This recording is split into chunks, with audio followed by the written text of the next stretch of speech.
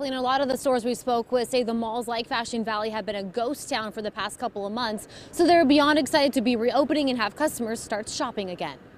Thanks for calling Novo. This is Hugo. Hugo Tomas is the office manager at Novo Brazil Brewing Company in the Otay Ranch Town Center in Chula Vista. It's going to be great to see people starting to come back to, to the mall.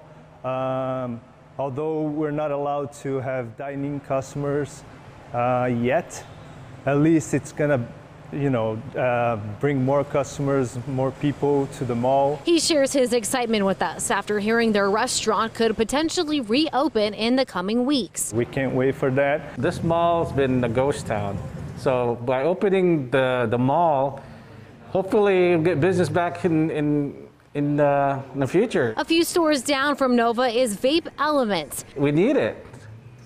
We need, we need income. We need to pay for bills, rent, uh, feeding the families. Ray Malin now is the co-owner. He says he and his staff have already started implementing the governor's new rules, and that's to get a jump start on things before the grand reopening. We started that way before we took precautions.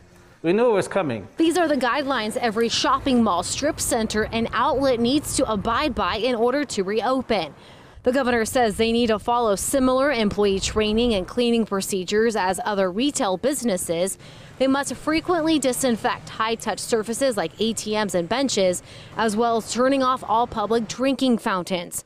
Stores are also encouraged to only take credit cards from customers and install hands free payment systems wherever possible. It's going to be a lot different, as I said but at least it is it's great to, to you know to think that customers will, will be able to to to sit down here and enjoy our beers, our products, in our atmosphere.